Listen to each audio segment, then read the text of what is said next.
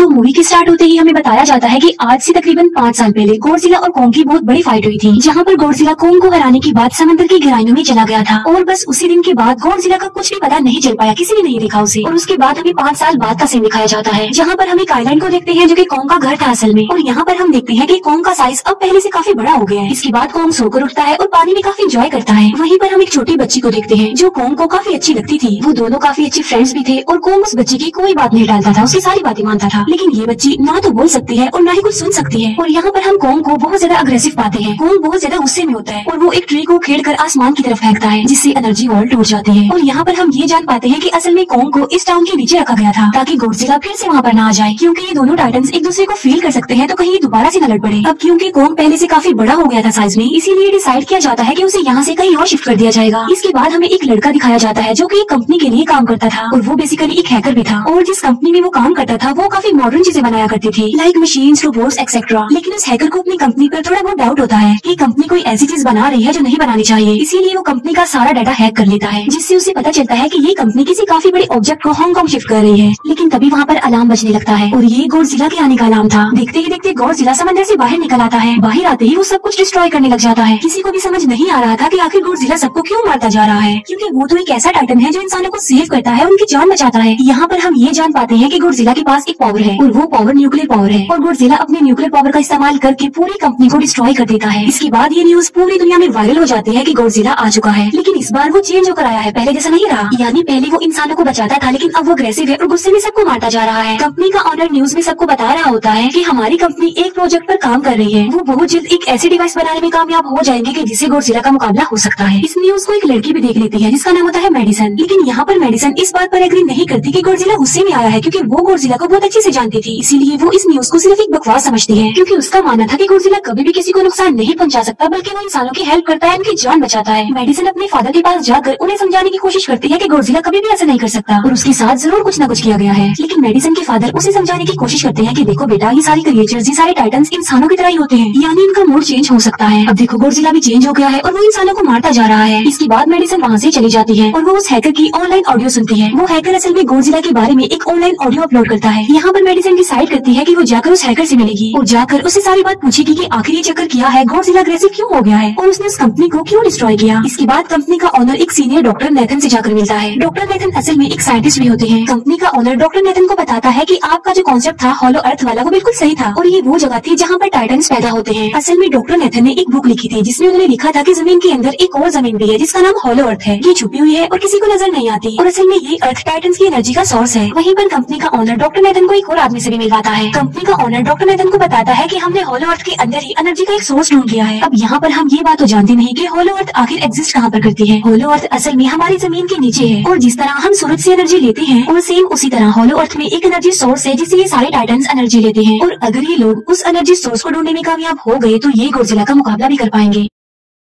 Doctor Nathan उनसे पूछता है कि आखिर हम उस होलो अर्थ तक जाएँगे कैसे? क्योंकि अब से कुछ साल पहले मेरे भाई ने भी वहाँ पर जाने की कोशिश की थी, लेकिन वो नहीं जा पाया और मर गया। यहाँ पर हम ये बात भी जान पाते हैं कि होलो अर्थ में ग्रेविटी नहीं होती, इसीलिए वहाँ पर हर चीज़ हवा में उड़ने लगती है, जिस पर कंपनी का ऑनर डॉक्टर नेथन को कहता है की आपको इस बारे में फ़िक्र करने की कोई ज़रूरत नहीं है, क्यूँकी हमारी कंपनी ने एक एंटी ग्रेविटी कार बनाई है, जिसकी मदद ऐसी हम वहाँ यानी होलो अर्थ पर जाएँगे। कंपनी का ऑनर ये भी बताता है की हर टाइटन्स में एक एबिलिटी होती है, जिसकी मदद ऐसी हर टाइटन्स अपने घर को ढूंढ सकता है। इसीलिए हमें एक कॉम की हेल्प लेनी चाहिए। इसके बाद डॉक्टर नेथन अपनी एक फ्रेंड जो डॉक्टर भी थी, उससे मिलते हैं। और ये फीमेल डॉक्टर कौन की देखभाल भी करती थी। डॉक्टर नेथन उस फीमेल डॉक्टर को समझाने की कोशिश करते हैं कि हमें कौन को उसके घर पर भेजना चाहिए। और उसका घर होलो अर्थ है, क्योंकि हम उसे ज़्यादा टाइम के लिए यहाँ पर नहीं रख सकते। और अगर वो यहाँ से बाहर निकला भी तो गुरजिला उस पर अटैक कर देगा। इसीलिए कौन सिर्फ़ होलो अर्थ में ही सेफ़ रह सकता है। अब थोड़ी बहस के बाद फाइनली वो फीमेल डॉक्टर भी इस बात के लिए एग्री हो जाती है, क्योंकि इसके अलावा उनके पास और कोई ऑप्शन जो नहीं था। फिर ये लोग अपनी पूरी आर्मी के साथ कौन को होलो अर्थ की तरफ़ ले जाने लगते हैं। कौन को ये लोग चेन से बाँध कर ले जा रहे थे। कौन की फ्रेंड यानी वो छोटी बच्ची कौन से इशारों में बातें करती है। बच्ची बताती है की कौन को गुस्सा आ रहा है क्योंकि उसे जंजीरों से बांधा हुआ है। आर्मी का लीडर उस फीमेल डॉक्टर को कहता है कि हम गुरजिला के रास्ते से नहीं गुजरेंगे और हम किसी दूसरे रास्ते से ही जाएँगे ताकि गोरजिला को पता न चल पाए जिस पर वो फीमेल डॉक्टर कहते हैं कि जी हाँ बिल्कुल हमें ऐसा ही करना चाहिए, क्योंकि गोरजिला और कौम की काफ़ी पुरानी दुश्मनी है, क्योंकि वो दोनों ही खुद को मॉन्स्टर्स का किंग समझते हैं। और अगर वो दोनों एक दूसरे के सामने आ जाते हैं तो तबाही मचा देंगे। फिर हम मेडिसिन को देखते हैं जो की अपनी फ्रेंड को लेकर उस हैकर से मिलने जाती है। यहाँ पर वो हैकर उन लोगों को बताता है की असल में कंपनी एक काफ़ी बड़ी चीज़ बना रही है और उस चीज़ को बनाकर हांगकांग शिफ्ट कर दिया जाएगा। लेकिन गोरजिला को ये बात पसंद नहीं नहीं आई, इसीलिए उसने उस कंपनी पर अटैक करके उसे डिस्ट्रॉय कर दिया। फिर हम देखते हैं कि कोंग वाली शिप में अलार्म बजने लगा है। वो बच्ची फीमेल डॉक्टर को बता रही होती है कि गोडजिला आ रहा है। डॉक्टर नेथन कहता है कि अब क्योंकि गोडजिला बाहर आ रहा है तो हमें कोंग को भी आज़ाद कर देना चाहिए, यानी उसकी चेन्स खोल देनी चाहिए, ताकि वो गोडजिला का मुकाबला करके हम सबको बचा ले। और अब फाइनली गोडजिला बाहर आ जाता है, जो एक शिप को डिस्ट्रॉय करते हुए आगे बढ़ रहा था उन लोगों की तरफ़। जब कोंग को पता चलता है की गोडजिला आ रहा है तो वो ज़ोर से चिल्लाने लगता है। लेकिन उसे तो चीन से बांधा गया था। फिर ये लोग गोडजिला पर रॉकेट और मिसाइल से अटैक करते हैं, जिसका गोडजिला पर जरा भी असर नहीं होता। जो उन लोगों के प्लेन्स होते हैं गोडजिला उन्हें भी डिस्ट्रॉय कर देता है। और अब गोडजिला कोंग वाली शिप की तरफ़ बढ़ रहा था। गोडजिला उन लोगों की सारी शिप्स को डिस्ट्रॉय कर देता है। और यहाँ पर गोडजिला उनकी शिप को पलट देता है, जिससे कोंग और बाकी लोग समंदर में डूबने लगते हैं। फिर वो लोग कोंग की चेन्स को खोल देते हैं, ताकि कोंग गोडजिला का मुकाबला करके उन सबको बचाए। फिर गोडजिला और कोंग की ग्रेट वॉर होती है, जिससे कोंग गोडजिला को समंदर में काफ़ी नीचे फेंक देता है। फिर वो पलटी हुई शिप को सीधा करता है, ताकि सब लोगों की जान बच सके। लेकिन गोडजिला एक बार फिर से उठता है, और वो उस शिप की तरफ़ जा रहा था, जिसमें वो बच्ची थी। और यहाँ पर कोंग एक शिप से दूसरे शिप पर जंप करके फाइनली उस शिप तक पहुँच जाता है, जहाँ पर गोडजिला आ रहा था। यहाँ पर कोंग गोडजिला को एक जोरदार पंच मारता है। फाइट बैक करते हुए गोडजिला भी कोंग को मारता है, जिससे कोंग नीचे गिर जाता है। कोंग एक बार उठकर फिर से गोडजिला को मारता है और गोडजिला जाकर समंदर में गिरता है। इस बात से गोडजिला को काफ़ी गुस्सा आ जाता है और यहाँ पर वो अपनी पावर यानी न्यूक्लियर पावर का इस्तेमाल करता है। ये देखकर कोंग जल्दी से अपनी जान बचाने के लिए पानी में कूद जाता है। गोडजिला की जो न्यूक्लियर पावर की लाइट होती है, वो हर जगह फैल जाती है। सब लोग उसे देखकर काफ़ी हैरान रह जाते हैं। और यहाँ पर हमें अंदाज़ा हो जाता है कि गोडजिला कितना ज़्यादा पावरफुल है। फिर समंदर के अंदर ही उन दोनों के बीच फाइट होने लगती है। गोडजिला तो पानी में सांस ले सकता था, लेकिन कोंग जो कि इंसानों की तरह था, वो पानी में सांस नहीं ले सकता था। इसीलिए कोंग हारता हुआ नज़र आ रहा था।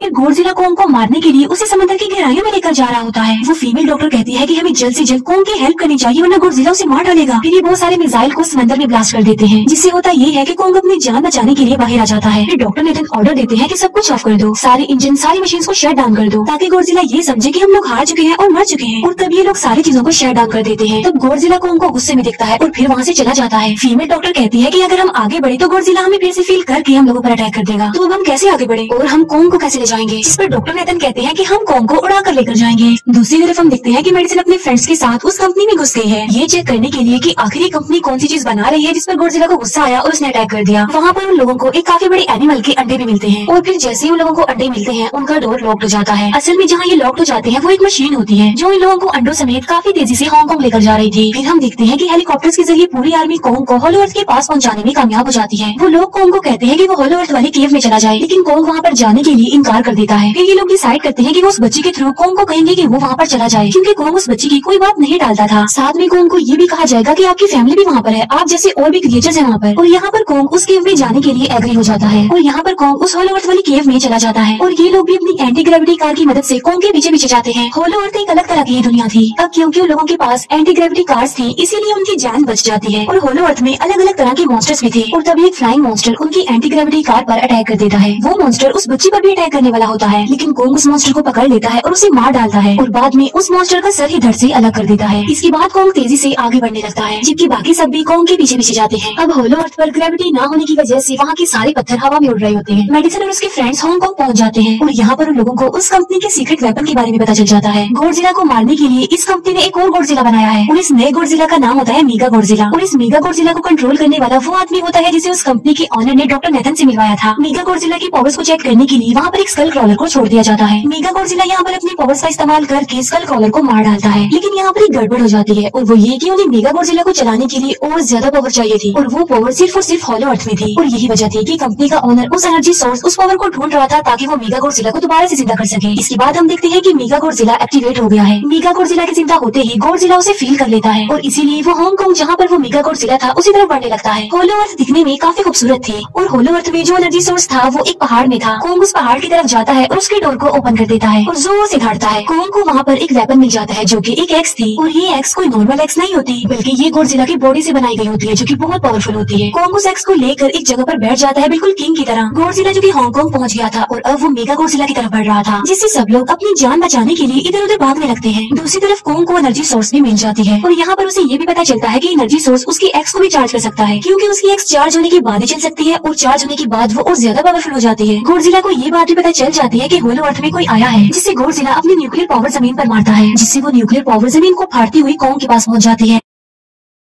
कंपनी की एक फीमेल ऑनर उन लोगों के साथ ट्रिक करती है। वो इस एनर्जी का थोड़ा सा सैंपल अपनी कंपनी के पास भेज देती है, ताकि वो लोग मीगा जिला को एक्टिवेट कर दे। हालाँकि फीमेल डॉक्टर उसे ऐसा करने से मना करती है लेकिन वो उसकी एक नहीं सुनती। और जब उस लड़की को रियलाइज़ होता है की यहाँ पर गोडजिला भी आने वाला है तो वो वहाँ से भागने लगती है। लेकिन तभी कोंग उसकी कार को पकड़कर उसे डिस्ट्रॉय कर देता है। कोंग अपना एक्स लेकर गोडजिला से लड़ने के लिए तैयार हो जाता है, क्योंकि इस न्यूक्लियर पावर के ज़रिए गोडजिला ने कोंग को लड़ने का इशारा दिया था। फिर कोंग वहाँ से भागते हुए हांगकांग आ जाता है। कोंग गोडजिला पर अटैक करता है, लेकिन बाय मिस्टेक उसकी वो एक्स एक बिल्डिंग में फंस जाती है। और मौके का फ़ायदा उठाकर गोडजिला कोंग को नीचे गिरा देता है। और यहाँ पर इन दोनों के बीच ज़बरदस्त फाइट होती है। गोडजिला कई बार अपनी न्यूक्लियर पावर का इस्तेमाल करके कोंग को मारने की कोशिश करता है। लेकिन कोंग बहादुरी से मुकाबला करते हुए हर बार बच जाता है। फिर कोंग अपनी एक्स से गोडजिला पर अटैक करके उसे इंजर्ड कर देता है, जिससे गोडजिला को गुस्सा आ जाता है। और वो अपनी न्यूक्लियर पावर का इस्तेमाल करके कोंग को दूर फेंकता है। लेकिन कोंग अपनी एक्स की मदद से उस पावर को अपनी तरफ़ आने से रोक देता है। इन दोनों के बीच काफ़ी देर तक फाइट चलती रहती है। अब क्योंकि गोडजिला काफ़ी ज़्यादा पावरफुल था, इसीलिए कोंग हारता हुआ नज़र आ रहा था। गोडजिला कोंग को इंजर्ड करके वहीं पर फेंक देता है। और उसकी चेस्ट पर पैर रख के ज़ोर से धारने लगता है। उसे देखकर कोंग भी ज़ोर से धारने लगता है और तभी गोडजिला कोंग को छोड़कर वहाँ से जाने लगता है। हम देखते हैं कि कंपनी के ऑनर को वो एनर्जी सोर्स मिल चुका था जिसके ज़रिए वो मीगा गोडजिला को जगा दे। यहाँ पर हमें पता चलता है कि मीगा गोडजिला गोडजिला से काफ़ी पावरफुल है और उससे साइज़ में काफ़ी बड़ा भी है। लेकिन यहाँ पर मीगा गोडजिला सब कुछ अपने कंट्रोल में कर लेता है। इसीलिए मीगा गोडजिला सबसे पहले कंपनी के ऑनर को मारता है और बाद में उसके असिस्टेंट को भी मार डालता है। फिर मीगा गोडजिला दीवार को फाड़ते हुए बाहर आ जाता है। गोडजिला जब मीगा गोडजिला को देखता है तो वो उसे लड़ने के लिए आगे बढ़ता है और उन दोनों के बीच काफ़ी फाइट होती है। अब क्योंकि मीगा गोडजिला काफ़ी पावरफुल था, इसीलिए गोडजिला हारता हुआ नज़र आ रहा था। मीगा गोडजिला गोडजिला को बहुत ज़्यादा मारता है और उसे नीचे गिरा देता है। मेडिसिन और वो हैकर मीगा गोडजिला की पावर्स को ऑफ़ करने की कोशिश करते हैं, लेकिन वहाँ पर सारी मशीन में कोर्स लगे हुए थे। दूसरी तरफ़ हमें कॉम दिखाया जाता है जो की लड़ने की वजह से काफ़ी इंजर्ड हो गया था और उसकी हालत काफ़ी खराब थी और वो ऑलमोस्ट मरने ही वाला था। वो बच्चे कॉम की हार्ट बीट सुनते हैं तो सबको बताते हैं की कॉम की हार्ट बीट आहिस्ता आहिस्ता कम होती जा रही है, जिस पर डॉक्टर नेतन कहते हैं की हमें कॉम को बचाने के लिए उसे एक काफ़ी बड़ा इलेक्ट्रिक शॉक देना होगा। और ये लोग कॉम को शॉक उसी एंटी ग्रेविटी कार से देते हैं, जिससे कॉम को काफ़ी बड़ा झटका लगता है और वो दोबारा से उठकर खड़ा हो जाता है। वो बच्चे इशारों में कॉम को कहते हैं कि देखो, गोडजिला हमारा दुश्मन नहीं है, वो हमारा फ्रेंड है। इसीलिए जाओ और उसकी हेल्प करो। तब कॉम गोडजिला को बचाने के लिए चला जाता है। मीगा गोडजिला अपने न्यूक्लियर पावर का इस्तेमाल करके गोडजिला को बस मारने ही वाला होता है कि तभी वहाँ पर कोंग आ जाता है और कोंग यहाँ पर गोडजिला को बचा लेता है। गोडजिला फ़ौरन समझ जाता है कि मुझे और कोंग को साथ मिलकर लड़ना चाहिए, लेकिन मीगा गोडजिला इतना ज़्यादा पावरफुल था कि वो इन दोनों पर भारी पड़ रहा था। कोंग को अपनी एक्स नज़र आती है, लेकिन मुसीबत की बात तो ये है कि वो चार्ज नहीं होती। लेकिन कोंग फिर भी उस एक्स से मीगा गोडजिला पर अटैक कर देता है। लेकिन मीगा गोडजिला कोंग को मारता है और वो कोंग को बस मारने ही वाला होता है कि तभी कोंग उसे ऐसा करने से रोक लेता है। अब क्योंकि मेडिसिन और उस हैकर से वो मशीन बंद नहीं हो रही थी जिससे मीगा जिला की पावर्स को कम किया जाए। इसीलिए वो गुस्से में आकर उस मशीन पर पानी डाल देते हैं, जिससे मीगा जिला थोड़ी देर के लिए ऑफ़ हो जाता है। और इसी बात का फ़ायदा उठाकर गौर जिला अपने न्यूक्लियर पावर के ज़रिए कॉम की उस एक्स को चार्ज कर देता है। और अब कोंग के पास पावर आ चुकी थी, इसीलिए वो मीगा जिला को तबाह बर्बाद करके रख देता है। उसके हाथ पैर तोड़ देता है और उसके सारे बॉडी के पार्ट्स अलग अलग कर देता है। और लास्ट में वो मीगा जिला का सर भी उखेड़ कर फेंक देता है। अब क्योंकि मीगा जिला मर चुका था तो सब कुछ नॉर्मल हो जाता है। लेकिन तभी गौर गोडजिला फिर से खड़ा हो जाता है। और कोंग भी अपनी एक्स लेकर गौर गोडजिला से लड़ने के लिए तैयार हो जाता है। अब क्योंकि उन दोनों ने एक दूसरे की हेल्प की थी, इसीलिए वो नहीं लड़ते। गोडजिला वापिस समंदर में चला जाता है, जहाँ से वो आया था, और जबकि कोंग अब हमेशा के लिए होलो अर्थ में चला गया है। और कोंग उस छोटी बच्ची को भी अपने साथ वहाँ पर ले गया है, और इसी के साथ ही इस मूवी का यही पर एंड हो जाता है।